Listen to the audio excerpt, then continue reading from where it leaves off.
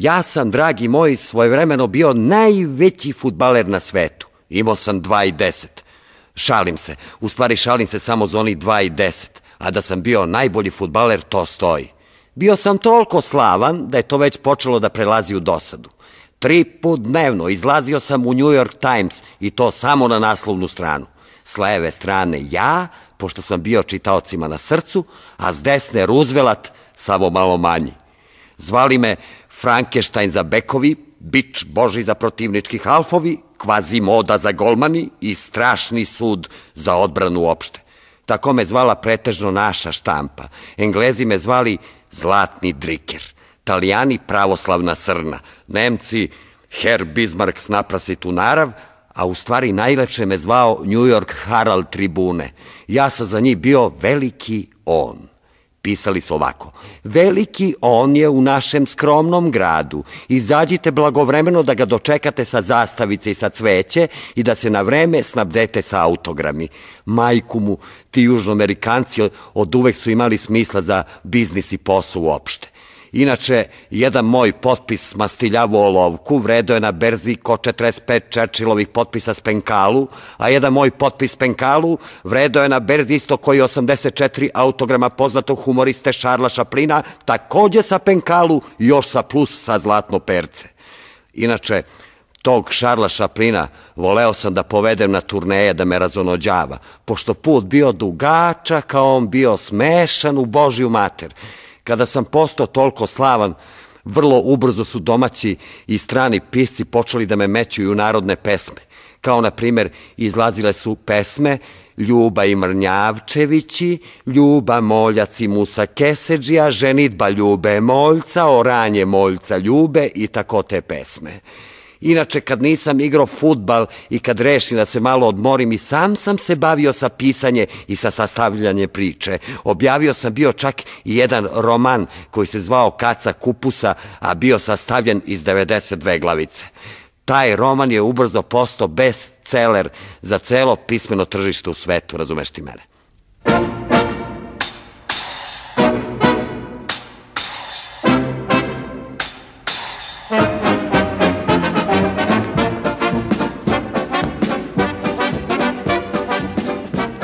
Sa veliki Britanci sam se sastao na Wembley stadionu u Lordovskom kvartalu Londona. Tu odma u obližnji hipodrom održavali se neki konski galopi. To je ono kad konji trču pa se oni kladu, ma bez veze, dileje a kad publika čula na hipodrom da ja igram u obližnju blizinu, pobegla odmah na Wembley stadion i ostavila konji sa džokeji da kaskaju sami. Bila to tužna slika, naročito za konji koji su siroti morali da se takmiče bez sportskog motiva, to je bez publike. Kažem, Wembley stadion, gledalaca ko na aeromiting, trava originala engleska, pošišana fenkare, a reporteri sa blicevi samo sevaju. Cela mesna zajednica oko Wembley stadiona mislila sutra će bude kiša.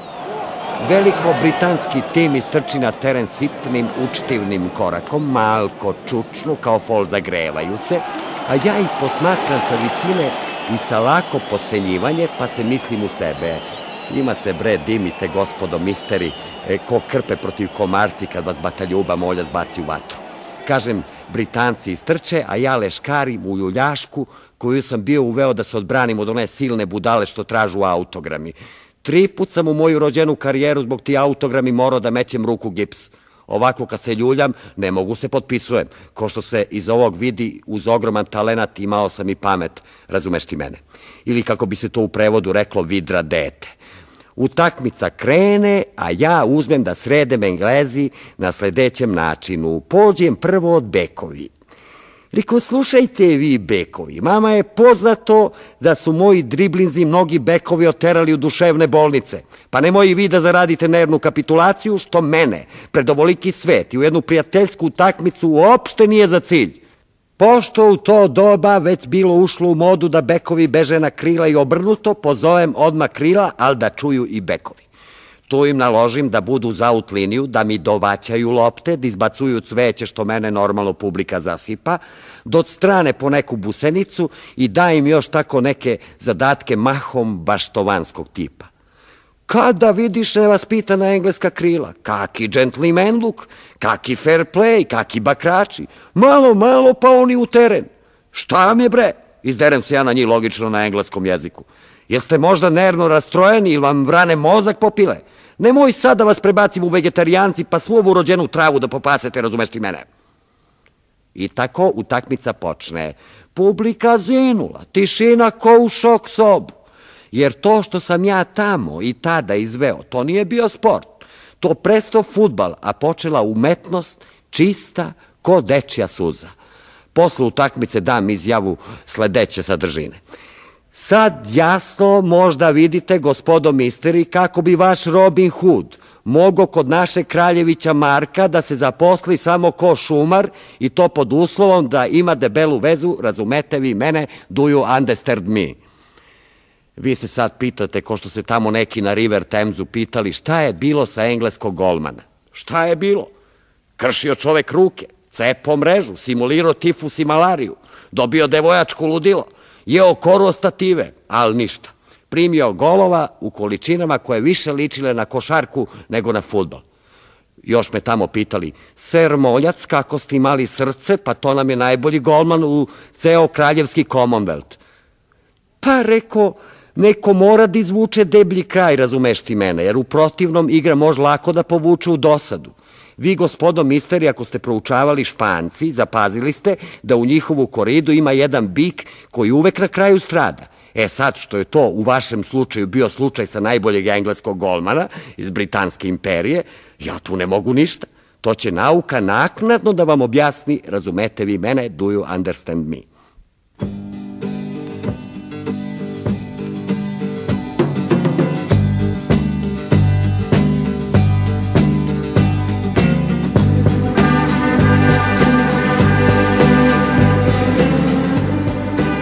Ja sam u svoje slavno futbalsko vreme imao toliko ženske da sam mogao s njima Avriju dograditi.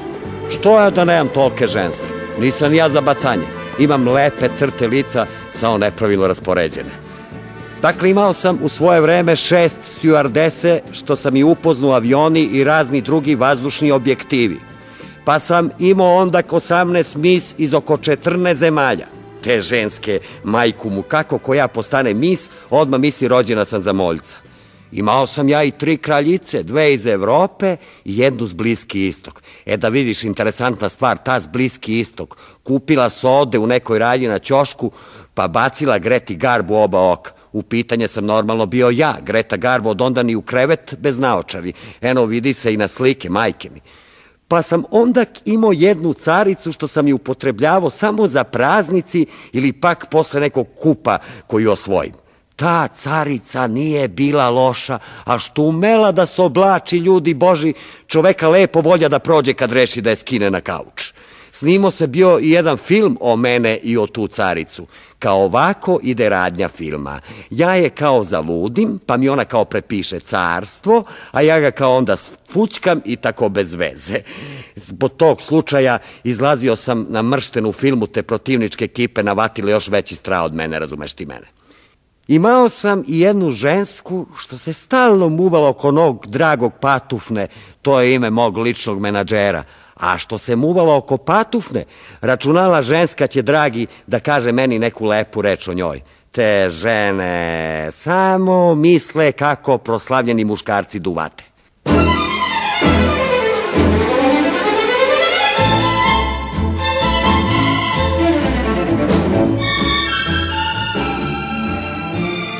A njoj beše ime Margareta, inače po zanimanju princeza sa argentinski dvor – I tako jedan put razastrem ja ćebe na teren pred neku važnu utakmicu, čini mi se da je bilo sa Honduras ili tako s neku jaču zemlju, kad eto ti je princeza Bajagi da mi donese ručak, u stvari samo da me vidi, do toli ljubav, razumeš ti mene.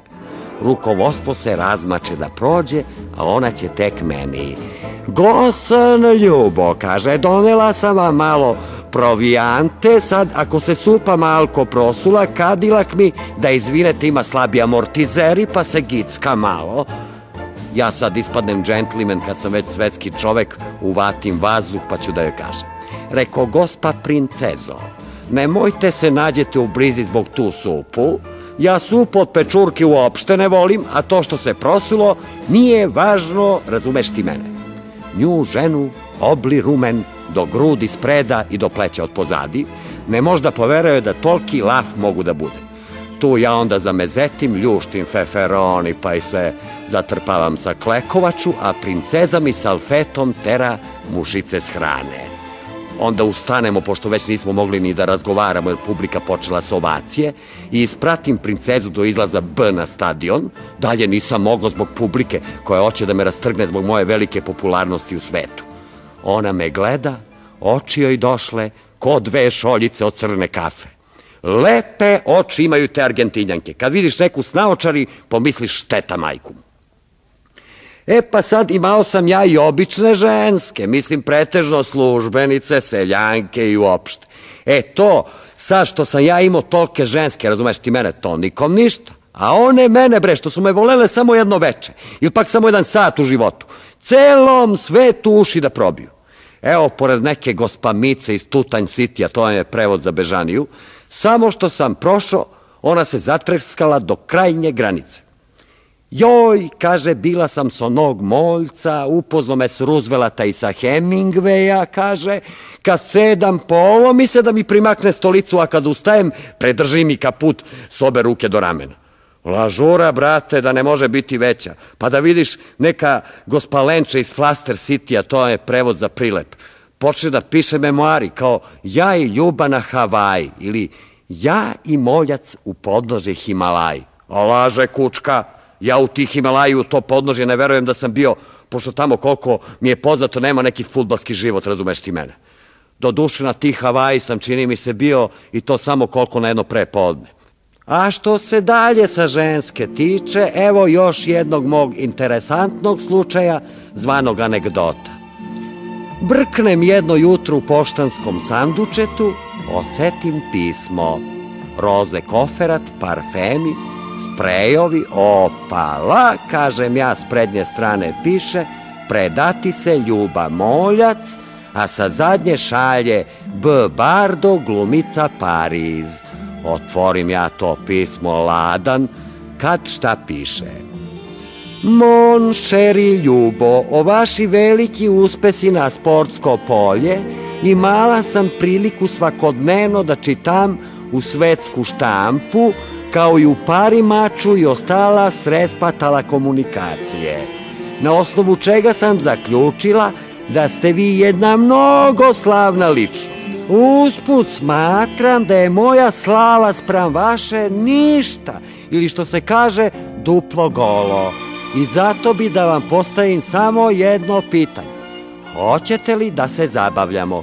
I zbog toga, monšeri, ne žalite malo vremena da mi napišete nekoliko reči iz kojih bi se moglo jasno videti kako ovo pismo nije naišlo na fatu u vaše uši. Uvek vaša Brižita Bardova i nacrtala tamo neki cvetići, neki kružići, neki anđeli sa strele i ostale džinđume. Ma gluposti, bre.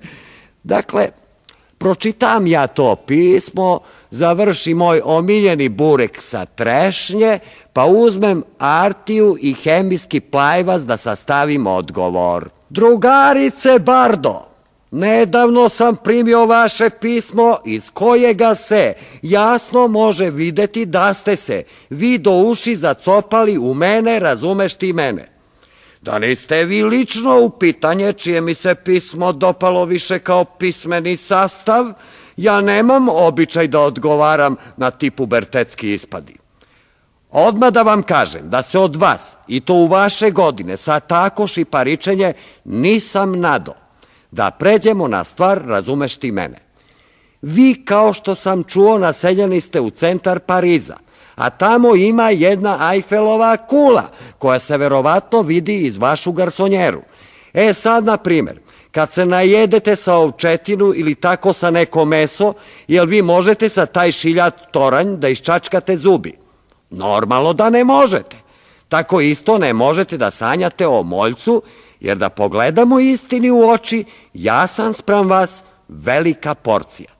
Sad, ako se kojim slučajem i dogodi slučaj da se negde vidimo u prirodnu veličinu, Bože moj, A da vam ja zakazujem sudari zvani randevuji ili pak da se vaćarimo po zadnji redovi od ti vaši bioskopi, to uopšte ne dolazi u obzir, toliko od mene, razumeš ti mene.